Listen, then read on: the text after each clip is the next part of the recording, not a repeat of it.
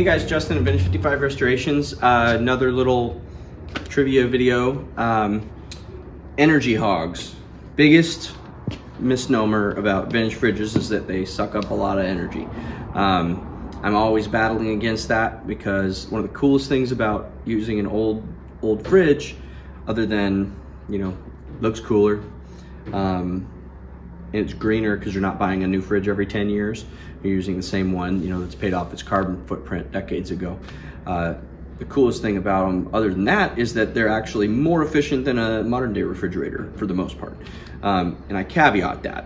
It's how you use it, where you're located, and uh, if you're taking care of it. So take an old, uh, an old you know, refrigerator. And by old, I mean pre-1963-ish, um, 1960s onward, they do start to become energy hogs. You get defrosters, defroster timers, you get blower motors, fans, uh, evaporator fans, all these different things that they basically were trying to, you know, make new technology in them. Didn't have it figured out right. So those ones are the worst. Um, it has all the, you know, they start to have all the modern conveniences, but while they were trying to figure them out, so they're not efficient at all.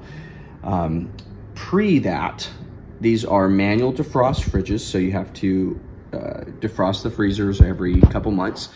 Um, and they're more efficient than a modern one. So basically what happens is they're on for 10 minutes out of the hour. They turn on until they reach the temperature you set it to, then they turn off.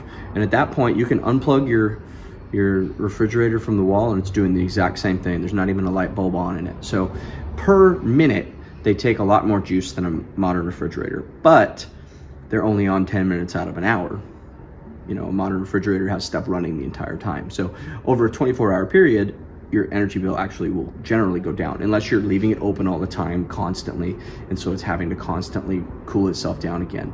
Um, the other thing is if you're not maintaining it, that's where the biggest uh, uh, myth around that comes from is people with no door seal or blown out door seals. They're hard, they're cracked, um, they're just gone, you know, eaten by rats or something. And at that point, your airflow is going back and forth constantly. So your fridge is going to be running nonstop trying to keep itself cool. And uh, then you will have an energy hog on your hands. But uh, stop harping on old fridges. They're good. They're good for the environment. They're good for uh, recycling. They're good for reusing. They're good for uh, carbon footprint. If you can use something that's already been made, that's greener than make, you know buying something new most of the time. Don't even get me started on cars. All I drive is old 50s and 60s stuff. But anyway, um, so energy hogs, busted. Have a good day, you guys.